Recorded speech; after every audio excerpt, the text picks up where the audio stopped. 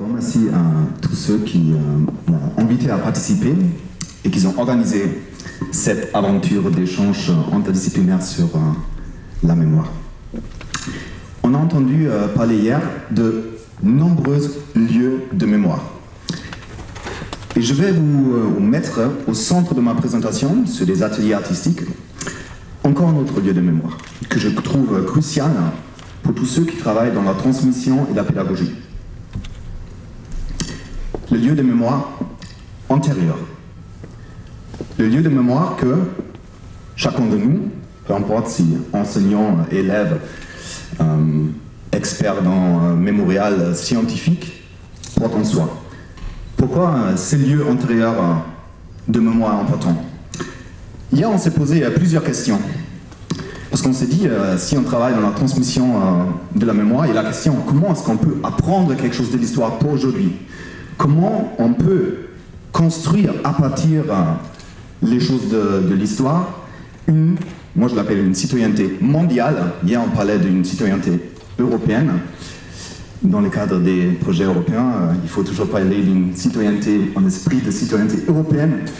Mais je pense dans le monde dans lequel on, vit, on devrait le changer euh, en esprit euh, citoyenneté mondiale pour ne pas juste pousser les frontières un peu plus loin, mais de repartir, euh, sur les mêmes euh, confrontations.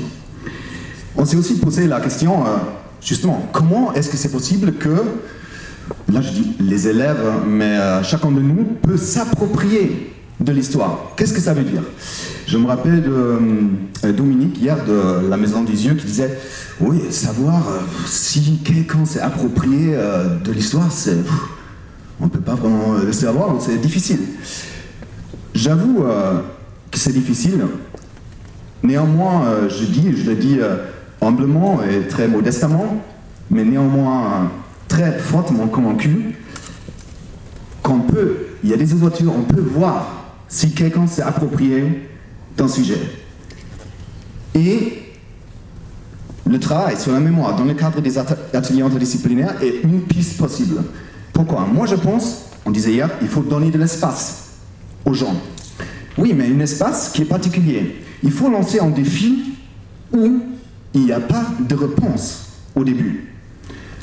Un espace où les élèves ils n'ont plus le choix de, se cacher derrière des chiffres et derrière des faits. Je ne dis pas que les faits ne sont pas importants, ils sont très importants, mais ils sont juste le début pour construire une citoyenneté citoyenne.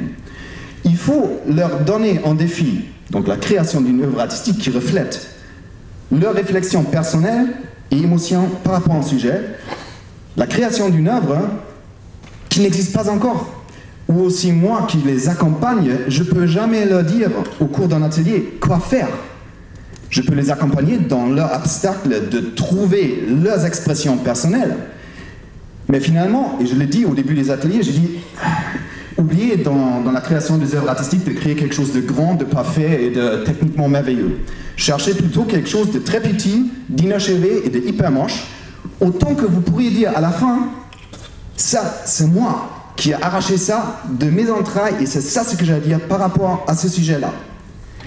Et euh, donc comment est-ce qu'on sait que quelqu'un s'est approprié du sujet? C'est un peu magique et c'est pour ça que j'aime l'art parce que dans le cadre des, ateliers, tout à la fin, les participants ils présentent les œuvres. Et c'est au moment que quelqu'un parle de son œuvre. En allemand, on dit, en allemand, on dit euh, que même en aveugle, sur des béquilles, il ne peut pas rater que quelqu'un s'est approprié du sujet. Ça s'entend dans la voix. Et ce n'est pas une question de combien de mots euh, euh, exotiques qu'on utilise. Il y a une puissance dans la voix. Ce qui fait pourquoi moi j'adore ces ateliers, parce que les participants m'impressionnent euh, tout le temps. J'ai fait des évaluations, justement je demande aussi aux enseignants comment vous aviez vu vos élèves dans les euh, ateliers. Et dans chaque atelier, il y a des enseignants qui disent Mais c'est qui cet élève-là qui, vient de parler? Je, l'ai euh, depuis deux années sous, mes, sous, mon nez, mais je ne connais pas cet élève-là.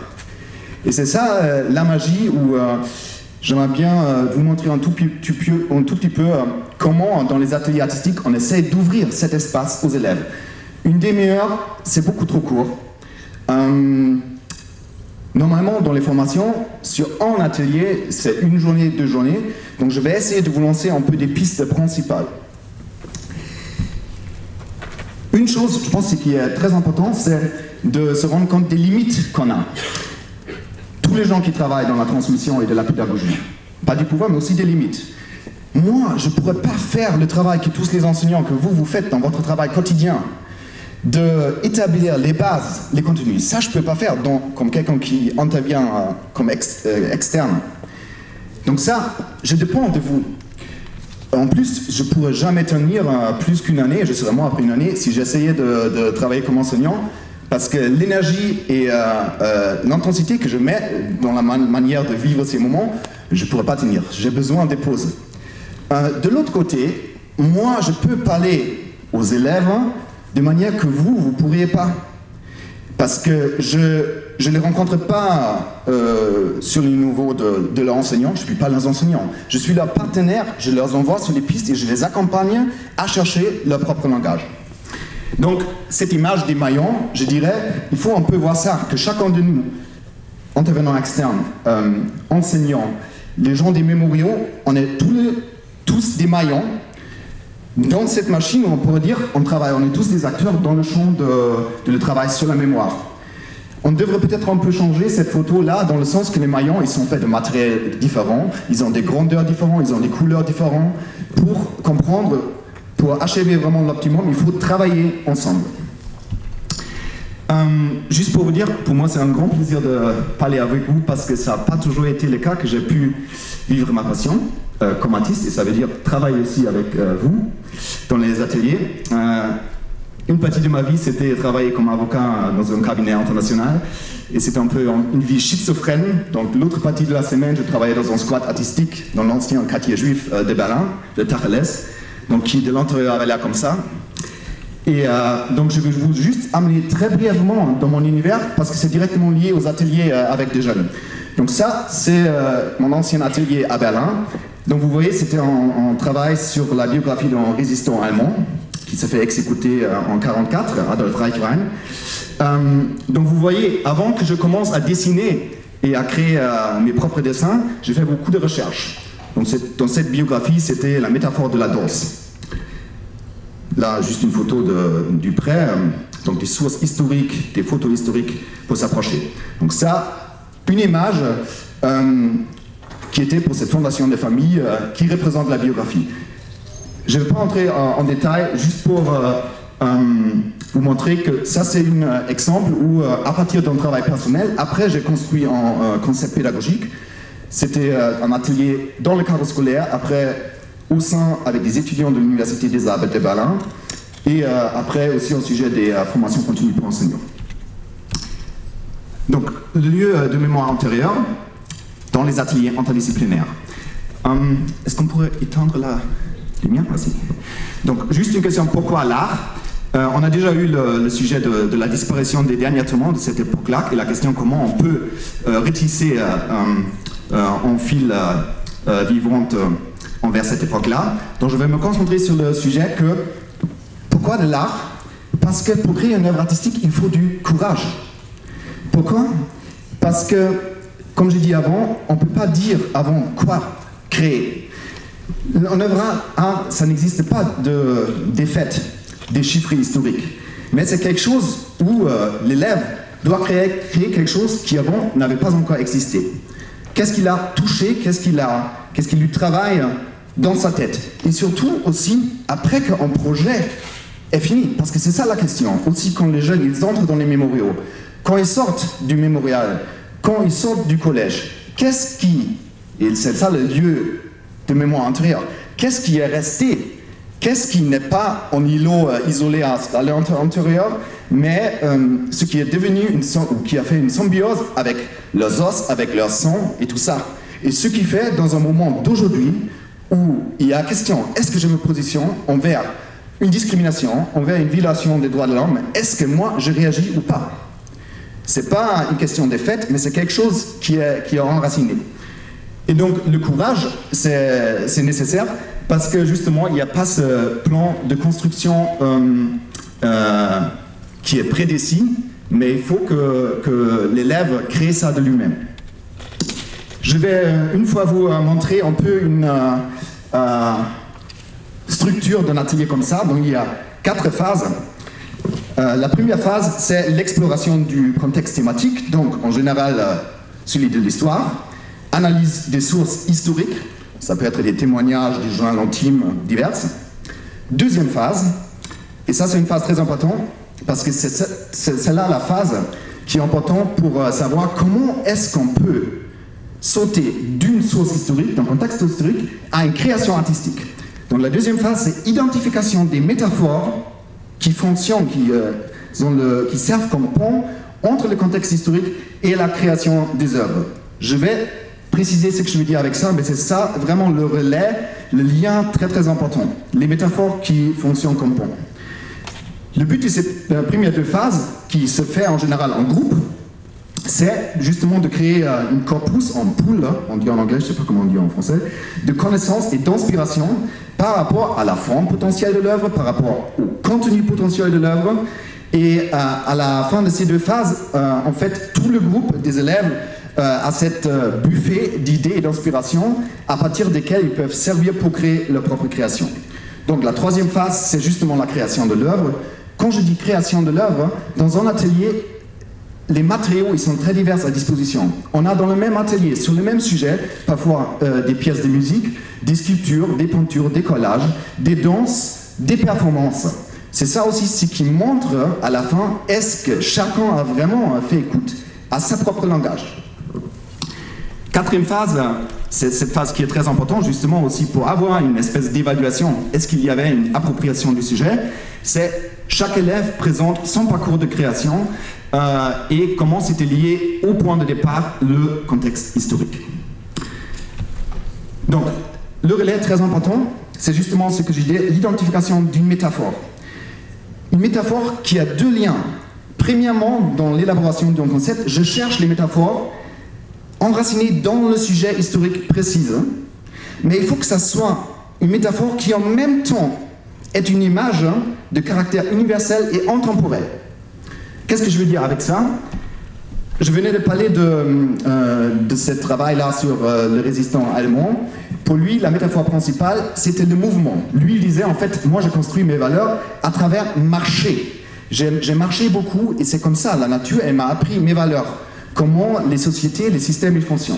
Dans la métaphore, c'était le mouvement, donc d'un côté enraciné dans sa biographie, pour construire ces valeurs qui les ont fait euh, entrer dans la résistance entre Hitler. Et euh, les petites photos que vous voyez là, donc ce sont des extraits de, des sources historiques, ça montre euh, le monde digital. Donc on a pris la métaphore du mouvement et a dit, d'accord, comment est-ce que le mouvement fonctionne dans notre temps, dans le monde digital? Comment est-ce que nous, maintenant, est-ce qu'on peut apprendre et construire des valeurs à travers le mouvement digital? Ou est-ce qu'il y a des différences entre un mouvement dans le monde trois-dimensionnel euh, old school et le monde digital Je vais maintenant vous euh, présenter un petit aperçu. Euh, est-ce qu'on n'est pas encore à 10 minutes? Parce que je vois... Je vois rien, ouais. 12 minutes, ok, très bien. Donc je vais vous donner un petit aperçu des sujets différents que j'ai traités. Comme je travaille sur plusieurs lieux de mémoire, plusieurs thèmes avec des participants très divers, l'idée c'est un peu que pour vous, pour les discussions après, soit dans, le cadre de cette conférence ou après, parce que vous êtes aussi un public très hétérogène, vous pourrez faire référence à certaines choses qui vous intéressent. Donc, euh, je n'ai pas choisi de, présenter en détail l'atelier qui s'est fait sur le camp de Rivesaltes, euh, ce qui aurait à première vue euh, peut être la, chose évidente. Euh, deux raisons. Donc, premièrement, euh, c'était il y a deux ans. Moi aussi, je continue à raffiner mes, ateliers et mes concepts continuellement. Deuxièmement, il y a aussi un catalogue qui documente tout le projet ici en détail. Il est à disposition ici.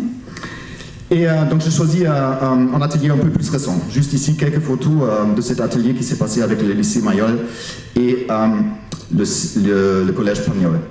La seule chose que je veux mettre en lumière. Donc l'atelier s'appelait euh, L'ombre de lumière, les ombres du vent, où ces deux métaphores y sont venues.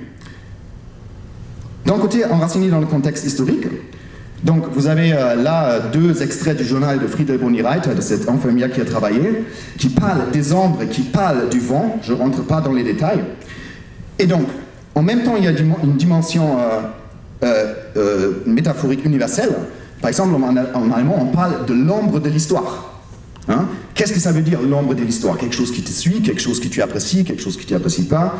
Euh, après ça, euh, euh, juste un commentaire d'un élève dans le cadre de cette idée, qu'est-ce que ça veut dire comme métaphore universelle? Le vent qui ne connaît pas de frontières, qui est éphémère, c'est l'oubli, ce que ça pourrait représenter.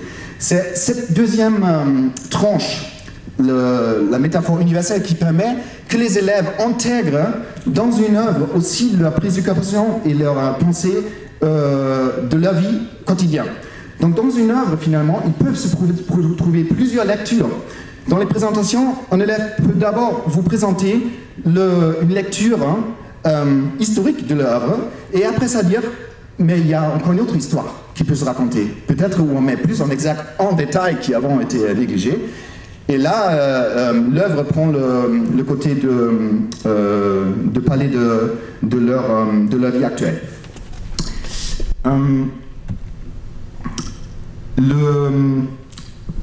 L'atelier dont je voulais vous parler plus en détail, c'est en fait un atelier qui vient de se euh, terminer il y a deux semaines, hein, donc il est tout frais. Nous avons tissé, conjugué la mémoire au futur antérieur. Donc déjà un titre très énigmatique, je ne vais pas rentrer dans les détails, dans les discussions individuelles peut-être après. C'était un, projet euh, justement soutenu par la Fondation pour la mémoire de la Shoah, en partenariat avec l'Académie de Versailles.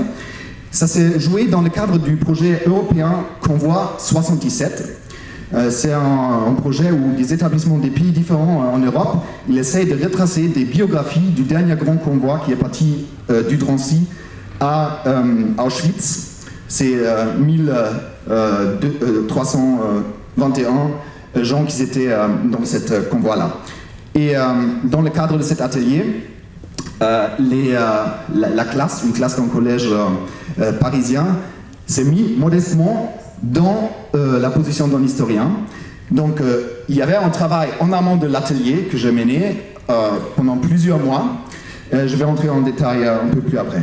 Sonia, c'est juste que je vois rien. Si tu me dis... Est-ce qu'on voit lui ou pas? Non, non, c'est juste pour que je vois où je suis avec le temps. Alors là, tu es... c'est bon, tu n'es pas encore à 18 minutes. 18, ok. Ouais. D'accord. Donc, euh, non, c'est juste pour. Parce que j'oublie le temps quand je parle, donc euh, ça m'aide. Et en plus, je suis aveugle de nuit et je te vois pas, Sonia. Je vois ton blouson euh, blanche, mais pas tes mains. donc, je vais. si dans la discussion il y a intérêt des autres ateliers, je vais rentrer dans les détails. Peut-être que je vais juste accentuer un atelier qui s'est passé dans l'ancien ghetto de Thérésin. Euh, dont on travaillait avec le mémorial et je, voulais vous euh, justement faire écouter la voix euh, d'un élève qui a travaillé sur, dans ce projet-là. Ce qui est important, on a considéré à travers le matériel qu'on a choisi aussi le sujet de cet ancien gâteau. le mémorial nous a fourni des anciens ordinateurs hein, de leur centre pédagogique qu'ils ont laissé et qui étaient destinés au rébut donc avec des disques, durs, avec des vieux manuels pédagogiques, et on pouvait utiliser ça pour créer des euh, sculptures et tout ça. On a aussi exploré justement qu'est-ce que ça veut dire, qu'est-ce qu'on peut apprendre à travers le matériel qui est là euh, à notre disposition? Et donc les élèves ont pu voir aussi en mémorial, ça se construit, ça change aussi son visage. Et euh, le discours qu'on va avoir, c'est d'un élève qui a dans son œuvre utilisé en petit détail de ce matériel.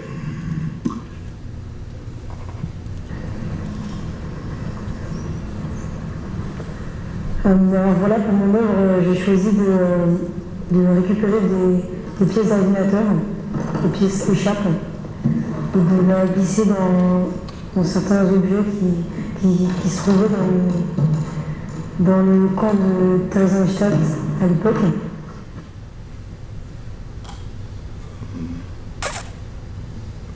Ça Ah.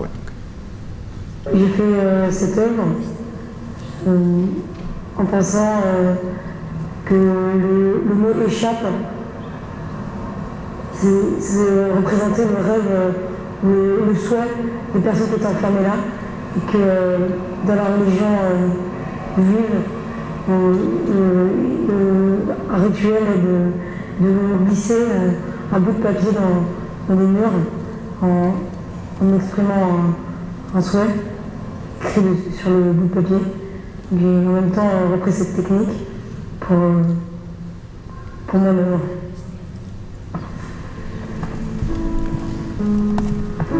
Donc, euh, je voulais vous présenter cette petite euh, voix euh, dans les lèvres avant de revenir au projet que je venais de présenter, donc celui sur la biographie de Jankel Fensterstadt. Euh, donc, je vais un peu sauter les, les autres euh, ateliers.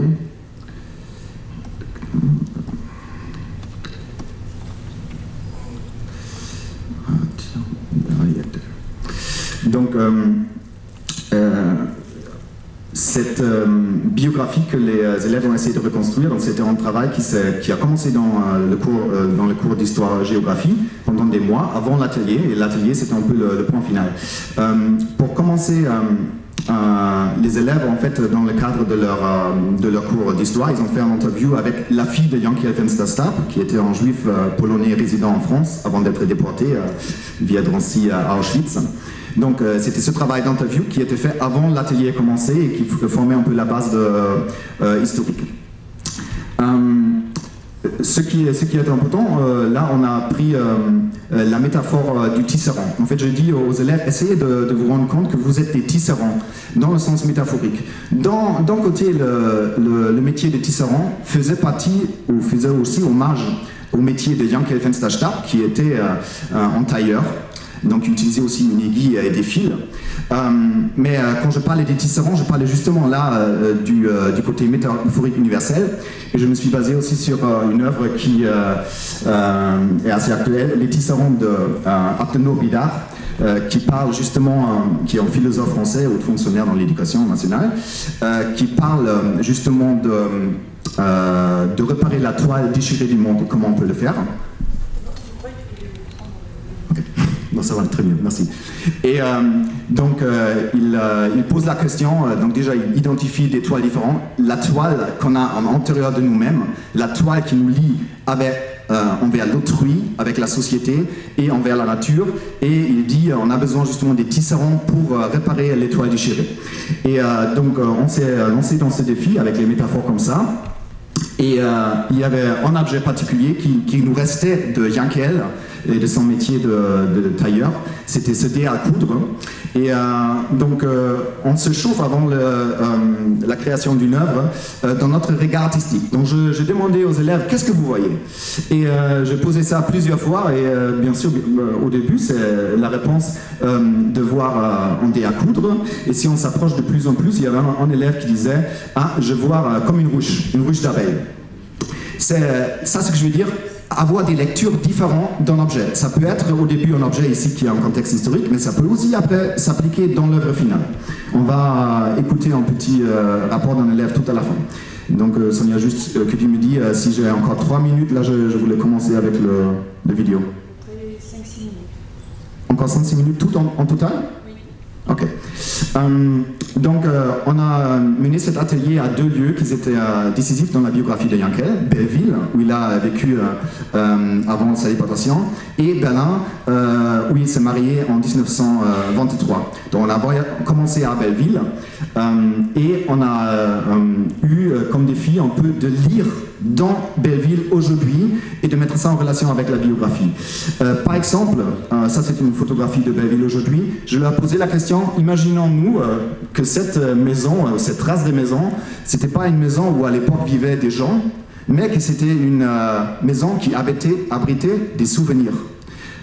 Pourquoi cette maison est partie Qu'est-ce qui pourrait représenter sur ce sens symbolique les nouvelles maisons qui se, qui se font? Et qu'est-ce que ça pourrait avoir avec votre impression d'Ida, la fille de, Yankel, qui aussi a beaucoup de choses dont elle se ne rappelle plus? Donc après, euh, donc, il y avait plusieurs euh, photos euh, qu'on a prises donc, de Belleville aujourd'hui et on a essayé de trouver comment est-ce que des photos de Belleville aujourd'hui pourraient représenter votre travail de recherche sur la biographie.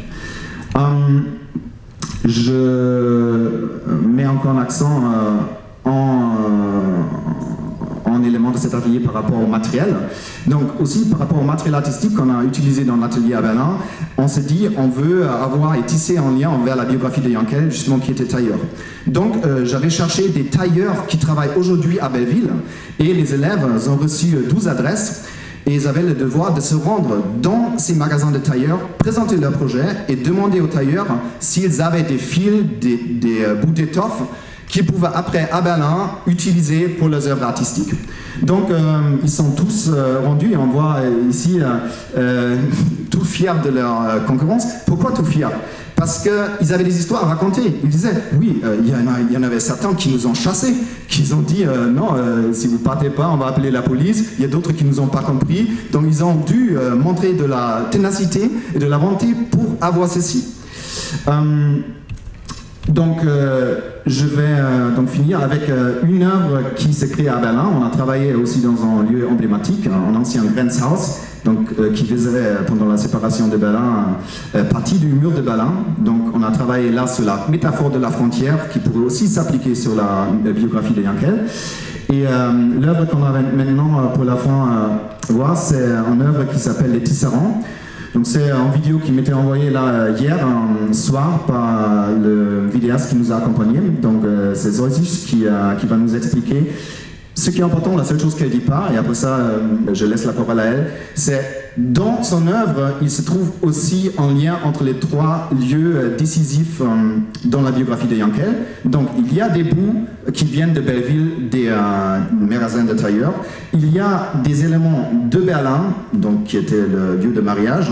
Et il y a encore des matériaux qui viennent de Kopschowitz, en Pologne, le lieu de naissance parce que euh, les élèves, à travers les euh, réseaux euh, Facebook, sont entrés en contact avec des jeunes de Kopschewitz aujourd'hui et leur ont demandé de nous envoyer à Berlin aussi des bouts de, fil et des étoffes, en leur expliquant le projet.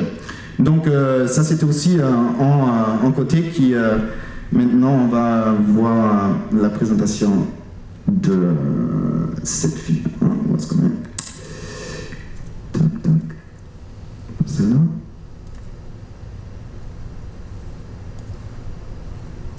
comment ça marche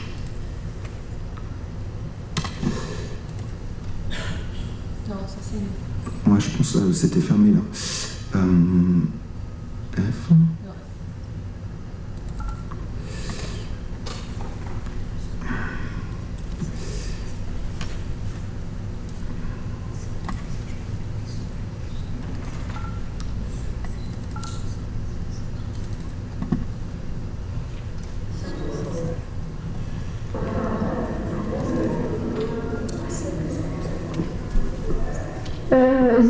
décidé d'appeler mon œuvre Les Tisserands parce que c'est comme ça qu'on appelle, euh, que nous appellent tous euh, Roman. Et euh, en fait, c'est parce que durant toute l'année, on a, on a essayé de reconstituer l'histoire de Michael Felsasab. Et lorsque j'ai vu ce cercle en plastique, je, me suis dit tout de suite, ça me fait penser au tambour de broderie. Et j'aime beaucoup la broderie parce que ça peut raconter beaucoup d'histoires, euh, rien qu'avec euh, quelques fils. Alors j'ai commencé par euh, faire des lignes de différentes couleurs. Et puis plus j'avançais, plus je me disais, mais en fait, ça ressemble un peu à tout ce qu'on a fait pendant l'année. Par exemple, là, j'avais collé un fil. Et je l'ai collé parce que. J'ai décidé de le coller parce que, en fait, c'est tout ce que vous avez tout ce que vous avez au début de l'année. Au début de l'année, on vous a dit, voilà, il y a un il est né telle année, euh, il s'est marié avec euh, Raya telle année, et tout ça, on le savait. Et après, à partir de ça, on a décidé de chercher tout ce qu'on ne savait pas. Et c'est ce que j'ai représenté par des trous. Les trous, c'est tout ce qu'on ne sait pas. Alors ici, ce trou, on a réussi à, on a réussi à, à le reboucher un petit peu, mais les fils sont tout, sont tout fragiles et c'est comme ça, c'est parce que le c'est un peu fragile, c'est, comment dire, euh, en prendre soin. C'est, un peu la vie de l'enquête qu'on essaie de reconstituer c'est super important. Euh, ici, j'ai, brodé en, en, film et en fait c'est un peu comme euh, a, tous les événements qu'on a fait. On a le musée de la Shoah, on est allé à Belleville, maintenant on est à Berlin. Et grâce à ça, on a, on a découvert des choses. On a fait beaucoup d'hypothèses aussi. Donc par exemple, ici, ben, c'est un trou d'histoire. On n'est pas vraiment sûr, euh, mais on a tenté par plusieurs fils, par plusieurs hypothèses de, de résoudre, mais c'est pas facile quand, on n'était pas là. Et puis euh, là, on ne voit pas très bien, mais il y a un trait Et ce trait, euh, bah, si on ne pas c'est un peu exprès, c'est parce que c'est tout ce qui est un peu en arrière-plan, tout ce qu'on raconte pas, tout ce qu'on n'a pas raconté dans la biographie, mais qui est quand même présent. Euh, par exemple, l'histoire de son grand frère, frère du grand frère d'Ida, Adolphe, ben, on ne va pas forcément le raconter, on, va, un peu le raconter bien sûr, mais, mais c'est là quand même, ça fait partie de la vie de Yankel parce que c'est son fils et c'est important. Euh, tous les films que j'ai faits, ils ne sont pas terminés parce que une histoire et un projet comme ça, ça se termine pas vraiment, ça, ça, va rester tout, tout, au long de notre vie, ça va, ça va être présent et dans, dans nos têtes, on va pas l'oublier parce que c'est assez incroyable. Du coup, j'ai laissé les, les, finitions comme ça. Et comme ça, voilà. Et ici, euh, tout autour, j'ai terminé, et je n'ai pas encore fini, mais ça représente toutes les démarches qu'on a fait grâce à nos professeurs et grâce à tous nos amis, tout ce qu'on a fait, toutes les personnes qu'on a rencontrées comme Ronald, comme Victor et Ida. je dirais on finit avec euh, cette petite voix de, de Switch sur son œuvre. Merci beaucoup.